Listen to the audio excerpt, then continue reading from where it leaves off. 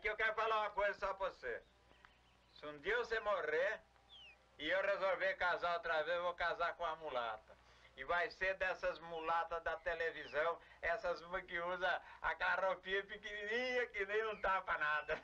É. Peraí, Zé. Em que casa que você anda assistindo televisão? Porque aqui não tem. Lá no bar da esquina. E colorida ainda. Só que as mulatas não fica colorida, fica preta mesmo. Ah, por isso o Antenor nasceu preto. Porque na hora de nascer você devia estar pensando numa mulata. Ah, mulher, esse negócio da luz não é comigo, é com você mesmo.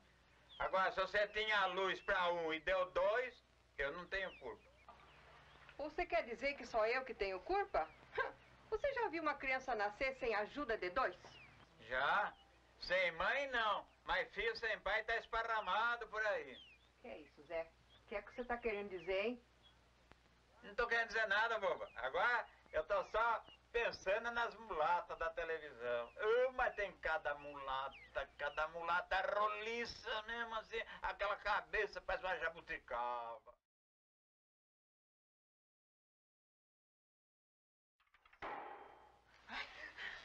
Que diabo é isso, Zé? E eu sei lá. Será que é disco voador? Ih, você também tá com essa bobagem na cabeça? Sabe que você é besta. É lobisomem. Ah, é, visual em cima da casa.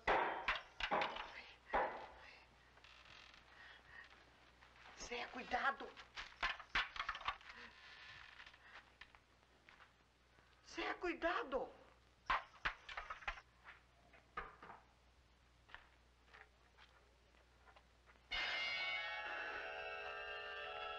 Bomba do céu, vem aqui, bomba.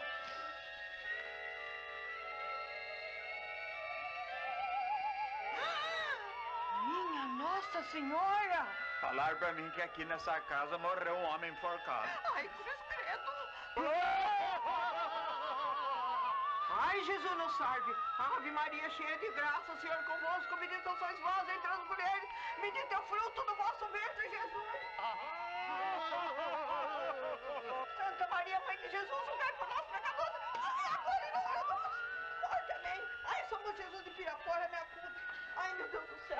Minha Virgem Maria, Santa Teresinha do Menino Jesus, livrai-nos! Essa boca.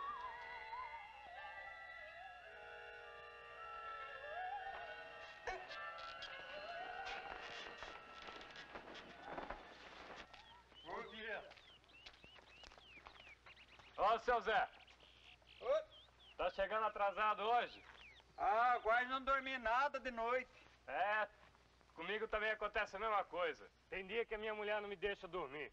Lá em casa isso não acontece porque minha mulher até é boa de cama. Se deixar, ela dorme o resto da vida. Então, o que aconteceu? Foi, foi dois diabos de um fantasma que cismou de me assustar lá de noite. Ô, louco! Seu Felipe, tá logo. Hein? Vamos. Vamos.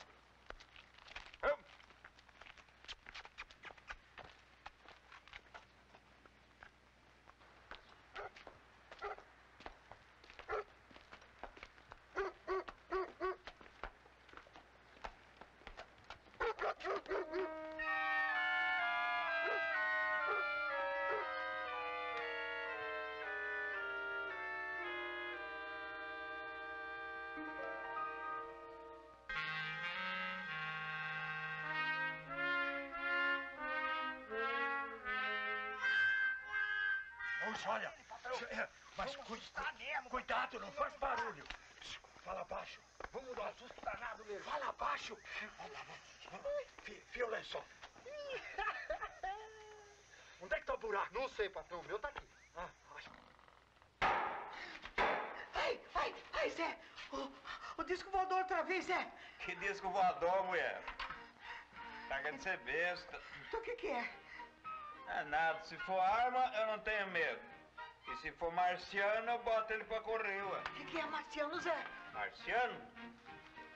Marciano, meu avô falou que é um negócio parecido com cavalo, com cinco rabos, oito pernas e três cabeças. Por que que o seu avô falou isso?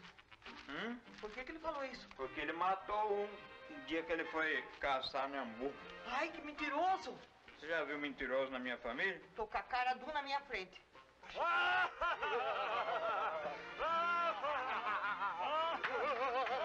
Quieta ali, que eu vou ver essa assombração lá fora. Não vai não, Zé. Vem cá, vem cá. Não vai, Quieta. Zé. Não faz barulho pra não espantar. Zé, não vai, Zé. Pelo amor de Deus. Não vai, Zé.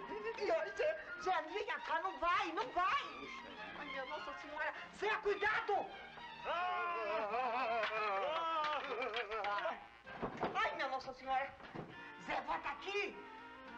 15 anos, abre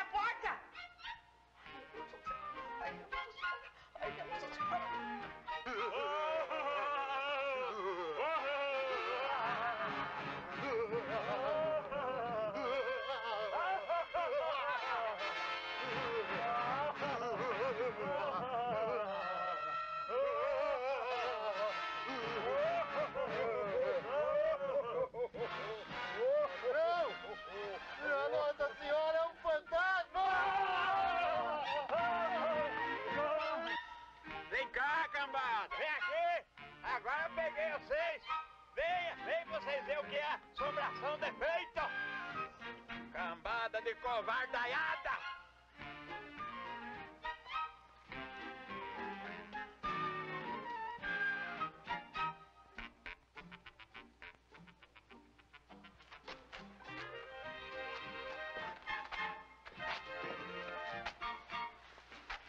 Ô pai, que susto!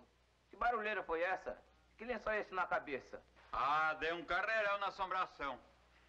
Seu cheiroso não ganhou por susto. O que é que seu cheiroso tem com isso, pai? O que, que tem com isso?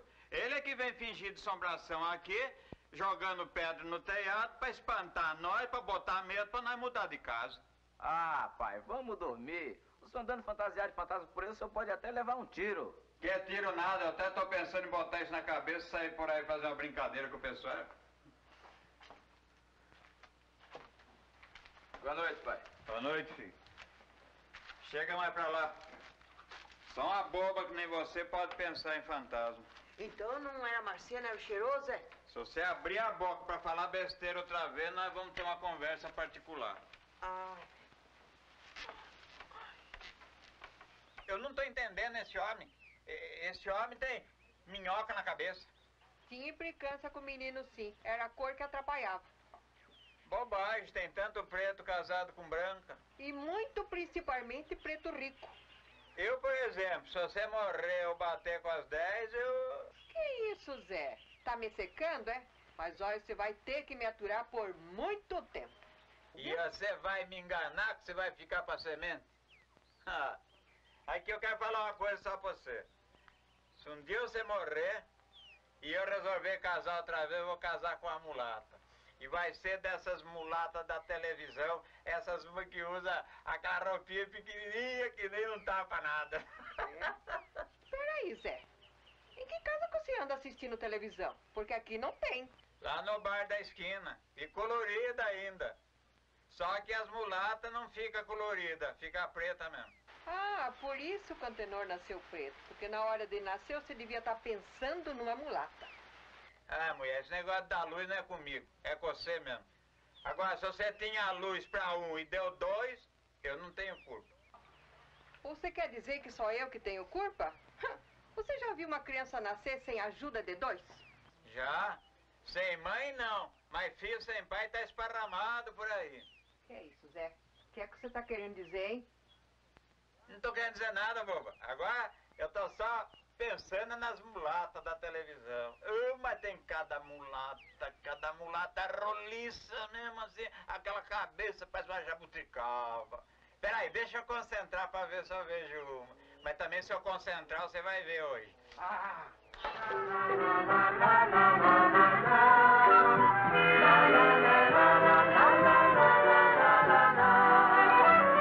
É de manhã, vou trabalhar